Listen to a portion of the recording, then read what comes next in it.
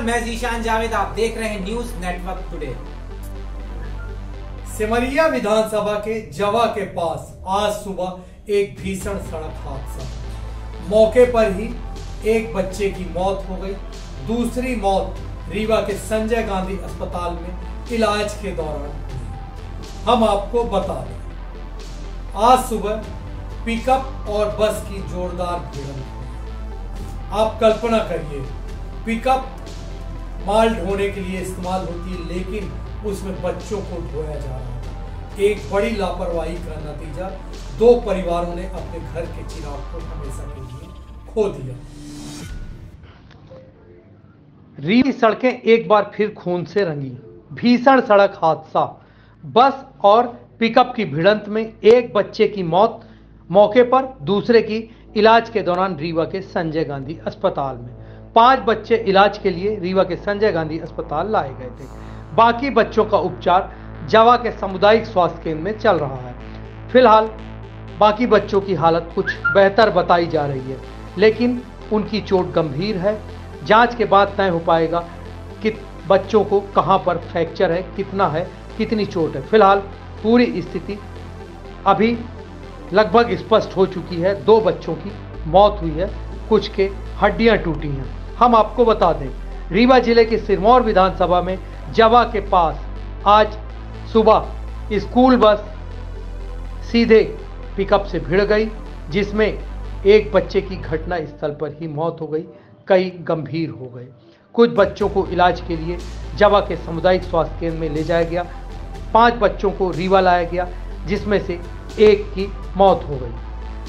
अपने आप में काफ़ी दर्दनाक हादसा रीवा में अर्पिता सिंह उर्फ़ नाव्या, जिसकी उम्र 12 साल थी, उसकी मौ, इलाज के दौरान मौत हो गई।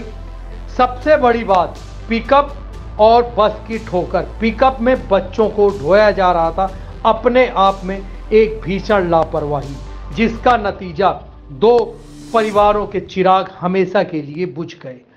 अब इसमें निश्चित रूप से कार्रवाई होगी। बस का परमिट पिकअप का परमिट खत्म किया जाएगा। लेकिन उनका क्या? जिन्होंने अपने घर के चिराग को खोए। आइए आपको सुनाते हैं प्रत्यक्षदर्शी और एक्सीडेंट में घायल बच्ची ने। जब हमने उनसे बात की तो उनका क्या कुछ कहना था आप भी सुनिए। कैसे क्या हुआ था? रुको रुको। ड्राइवर हमको खुद ही नहीं पता। हम लोग बात ही कर रहे थे हम और रामबाग की लड़की एक थी। और अंकल जी पता नहीं कैसे लड़ा दी उसमें और गेट भी नहीं खुल रहा था आगे वाला। आर्या लोग को उतार के हम लोग फिर आगे क्या हुआ? ड्राइवर कहाँ गया? हाँ ड्राइवर को हम लोग नहीं देखे। हाँ। वहाँ पे पता नहीं कहाँ चले गए वो। हाँ। और वो लोग हम लोग को पनौती बोल रहे थे। कौन ड्राइवर? हाँ। क्या नाम क्या नाम था आपका? उन लोग ड्राइवर बोलते थे। आपको क्या नाम है? भूमि सिंह तुमको क्या बोलते थे पनौती हो? नहीं हम सब लोग को आगे बैठे थे उसमें जो चलाते हैं गाड़ी तरह खींचते हैं उसमें लाते थे तो बोलते पनौती हो तुम लोग। कितने बच्चे थे बेटा गाड़ी चालीस पचास बच्चे। चालीस पचास बच्चे थे पे? पूरे फेंका गए गाड़ी से बाहर। तुम्हारा भाई ठीक है बेटा। तुम्हारा भाई कहाँ था? पता नहीं। नहीं निकाली उसको लक्ष्य को? हाँ वो लोग निकल के फेंका गए थे। नब्बे नब्बे फेंका गए ये सड़क हादसा हुआ आप यहाँ कॉल आए क्या स्थिति सर क्या? देखिए अभी थोड़ी देर पहले ही एक जानकारी मिली थी कि नौ बजे के आसपास जो है जवा के पास में जो है एक बस का एक्सीडेंट हुआ है। छोटे बच्चों की बस थी। और हेड ऑन किसी पिकअप से एक्सीडेंट हुआ है। तो वहाँ से जो इन्फॉर्मेशन मिली, उसके आधार पे वहाँ से जिन बच्चों को थोड़ा चोट थी, उनको हमने कोशिश ये किया था प्रशासन के माध्यम से कि जल्दी से जल्दी जो हमारे हॉस्पिटल में आ जाएँ। तो अभी पाँच बच्चे जिनको थोड़ी ज़्यादा चोट लगने की स्थिति पाई गई थी, वो पाँच बच्चे यहाँ पे शिफ्ट हो गए हैं, जैसा कि आपने अभी देखा ही है। और उनका पाँचों का इलाज प्रॉपर शुरू हो गया है। अभी एक घंटे के अंदर अंदर करीब जो है ये पता लग जाएगा कि किसी को फ्रैक्चर ज़्यादा है या कम है या क्या पोजीशन है। वैसे सभी बच्चे कॉन्शस हैं, सब ठीक हैं और भगवान की कृपा रहेगी, सब अच्छा हो जाएगा, बहुत जल्दी ठीक हो जाएँगे, सब स्वस्थ हो जाएँगे। पूरी हमारी तैयारी है, यहाँ पे हॉस्पिटल में हर तरीके की व्यवस्था है। कोई यहाँ समस्या इस तरीके की नहीं है। तो इलाज प्रॉपर चल रहा है।